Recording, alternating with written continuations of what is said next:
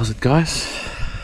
This is let me just put this on here. Don't think it's gonna stay there. This is like bushbuck. Oh, not as bad. This is like bushbuck attempt number five, I think. Um, so I'm not gonna put the other ones in because obviously nothing happened. Um, because there was a lot of hunting and stuff going in between. Um, I think I was here on my last one about a month ago, so there's obviously only three weeks left of bushbuck season. So I thought I'd try my luck before this cold front cyclone is gonna hit us. That they're forecasting for this um, weekend making landfall Cape Town tomorrow. So um, I thought I'll give it a go this afternoon just before it hits us tomorrow.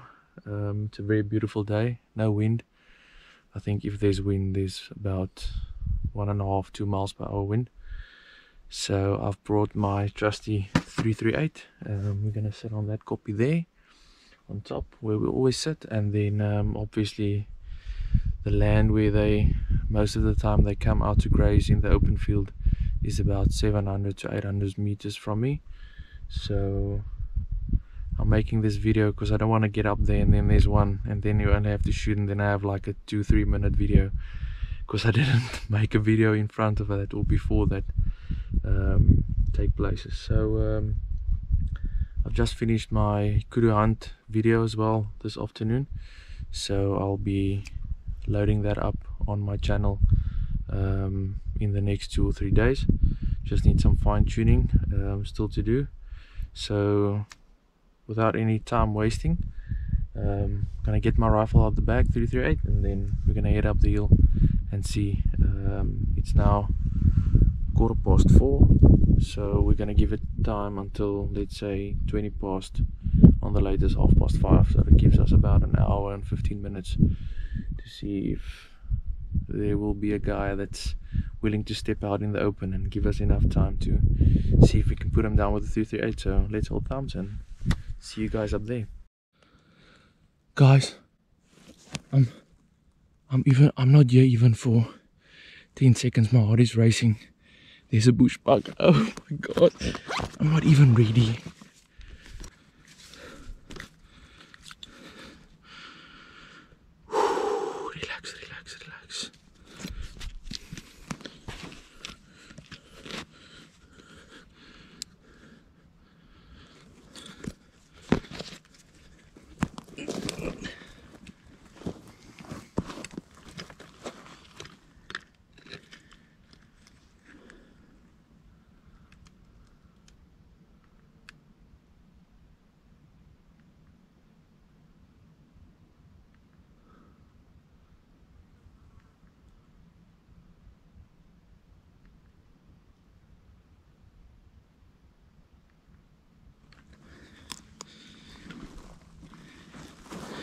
865 338 my shooting direction is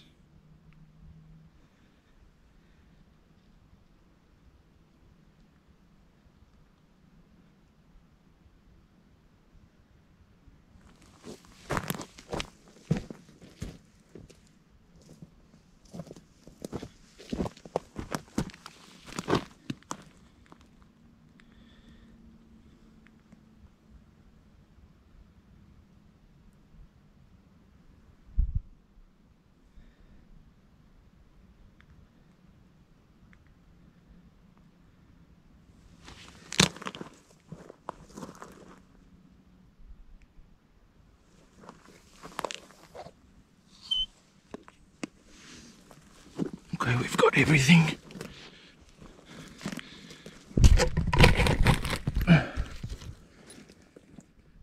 So we need to go up 23 MOA.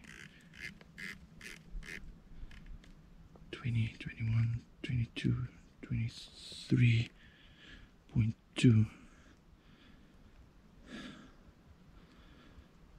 we have to go 0.57 right.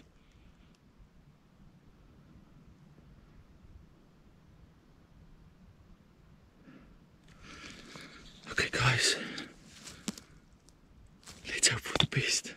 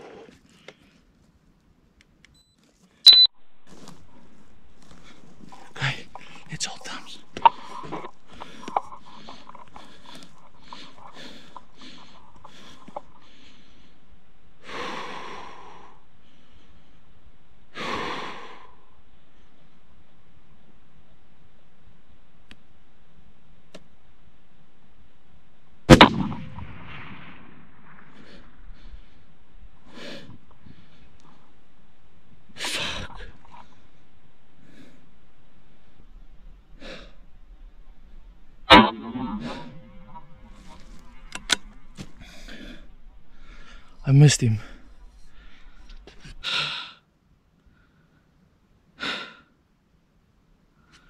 How did I miss him?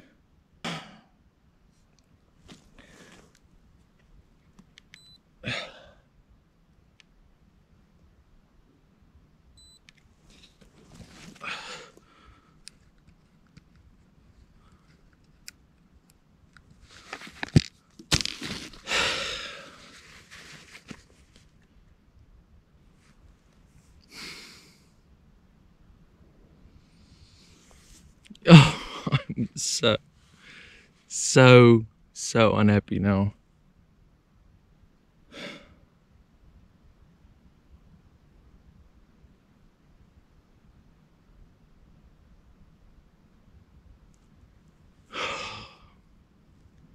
The wind must have pushed in another direction down there because I could see when I pulled the shot, when I squeezed the shot, that the shot went off just behind his back. Um, so my elevation was perfect because it went, it was, I'll show in the trigger cam uh, footage, it was just behind his butt in the same line the the dust went on the back. I mean he he got he got frightened the hell out of him because it's actually funny when I'm thinking of it now. The way he was moving and um, taking off into the bush. Um, damn, damn, I'm so, so, so pissed now. I never had buck fever like I did just now. There's something about these bushbuck animals that makes my fever go through the roof. But now I've totally messed that up. I wasn't even ready yet. Um, still had to calibrate the Kestrel, do everything, but obviously the wind changed or the wind's coming from another direction down there. I mean, the shot was 870 meters. So from here, the wind is almost as I'm facing now from to the target where he was. The wind's almost from let's say five o'clock. But now obviously I've put in the Kestrel said 0.5 so I've put in two clicks to the right but um, obviously that was too not enough um, but I that's shooting um, I'm just so unhappy now. And it was a flippin' nice ram. It was a decent sized buck but I'll show you guys on the trigger cam. Oh well that's it for the session this afternoon. I'm not even here for 15 minutes and we got our shot. I would have just liked to have shot that bushbuck with this rifle now. That would have made my day, my week, my month and my year. But any case guys, that's how it goes. Yeah, the wind must have been definitely too least there otherwise I would have clapped him definitely because my elevation was perfect. Look there you can see there. It only says 0.57 so that's two clicks of wind to the right but obviously that wasn't enough. I think I would have clapped him if I took